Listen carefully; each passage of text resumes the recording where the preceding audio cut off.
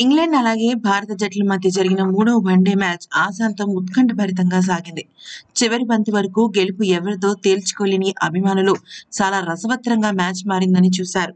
ముఖ్యంగా ఇంగ్లాండ్ భారత్ అన్న విషయాలను జట్లను మర్చిపోయి ప్రతి ఒక్కరూ కూడా శామ్ కరణ్ సెంచరీ చేస్తే బాగుండు అని కొంతమంది క్రికెట్ అభిమానులు ఆశపడ్డారు. అవన్నీ పక్కన పెట్టేస్తే భారత జట్టు టీ ట్వంటీ సిరీస్ను టెస్ట్ సిరీస్ను ఇప్పుడు ఓడిఐ సిరీస్ను గెలుచుకుని మూడు సిరీస్లను స్వీప్ చేసి పాడేసింది.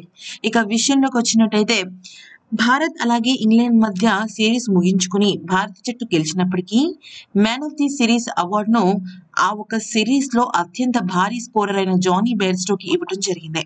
ఈ క్రమంలో మ్యాచ్ అనంతరం జానీ బెయిర్స్టో మాట్లాడుతూ కొన్ని ఊహించని విషయాలను బయటపెట్టాడు. ఈ యొక్క వన్ డే ఇంటర్నేషనల్ సిరీస్లో ఫార్మాట్లో నా ఇన్నింగ్స్ నాకు చాలా నచ్చాయి. చాలా సంతృప్తికరంగా అనిపించింది. టెస్ట్ ఫార్మాట్లో నా ప్రదర్శన అంత గొప్పగా లేదు. దీనికి గల కారణాలు అనేకం కావచ్చు. కానీ మళ్ళీ నేను తిరిగి పుంజుకుని వన్డేలలో ఈ రకంగా నా ఒక స్కోర్ రేట్ని పెంచుకోవటం నాకు నచ్చింది. తృప్తిగా ఉంది. ముఖ్యంగా భారత బౌలర్లలో భువనేశ్వర్ కుమార్ చాలా భయంకరమైన బౌలర్. అతని యొక్క బౌలింగ్లో ఎంత గొప్ప బ్యాట్స్మెన్ అయినా కూడా ఎక్కువ పరుగులు రాబట్టలేడు.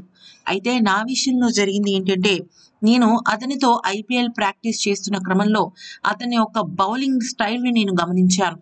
ఏ రకంగా తన బౌలింగ్లో ప్రిపేర్ అయితే పరుగులు రాబట్టచ్చు అనే విషయాన్ని కొంతమేరకు ప్రాక్టీస్ చేసి నా ఒక నైపుణ్యం పొందానని నేను చెప్పొచ్చు.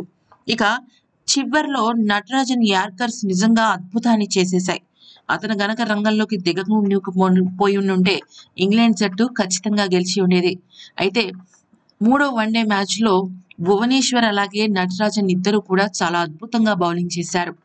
ఇక మా జట్టులో శ్యామ్ కరణ్ గురించి మాట్లాడాలి అంటే అతను ఒక భయంకరమైన ఆటగాడని చెప్పాలి. అతను చాలా టెక్నిక్గా లాజికల్గా ఆలోచించి ఆడుతూ ఉంటాడు. చిన్న చిన్న బౌండరీలు ఉన్న స్టేడియంలో అతన్ని మించిన వాళ్ళు లేరని నేను చెప్పగలను.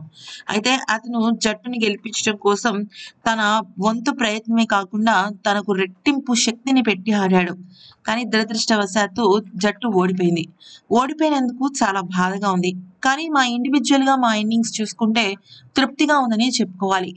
అయితే రాబోయే కాలంలో ఖచ్చితంగా ఇంగ్లాండ్ జట్టు మంచి ప్రదర్శన చేసి టాప్ స్థానాన్ని నిలబెట్టుకుంటుందని నేను ఖచ్చితంగా చెప్పగలను అంటూ జానీ బేర్స్టో శామ్ కరణ్ మీద భువనేశ్వర్ మీద అలాగే నటరాజన్ మీద ప్రశంసల వర్షం కురిపించాడు.